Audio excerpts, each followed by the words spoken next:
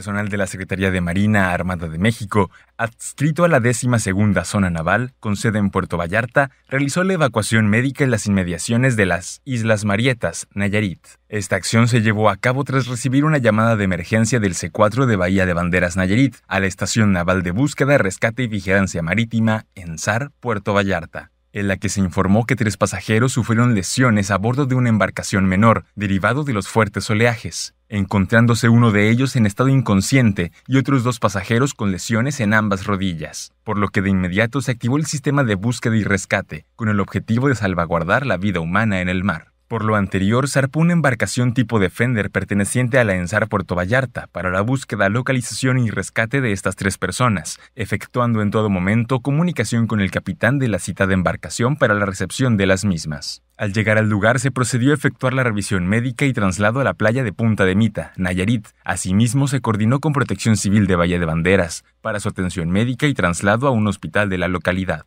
Es importante mencionar que la Operación Salvavidas Verano 2023 se lleva a cabo del 15 de julio al 20 de agosto del presente año, por lo cual la décima segunda zona naval ha desplegado elementos navales en las playas de mayor afluencia turística del estado de Jalisco y Nayarit, en el desempeño de funciones de guardia costera, en coordinación con los tres órdenes de gobierno, para complementar el apoyo de vigilancia y seguridad de los turistas. Para atención de emergencias en la mar, la decimosegunda zona naval pone a disposición de la ciudadanía el número telefónico 322-221-1123. Asimismo, la Secretaría de Marina comparte el siguiente número de contacto 800 Marina 1,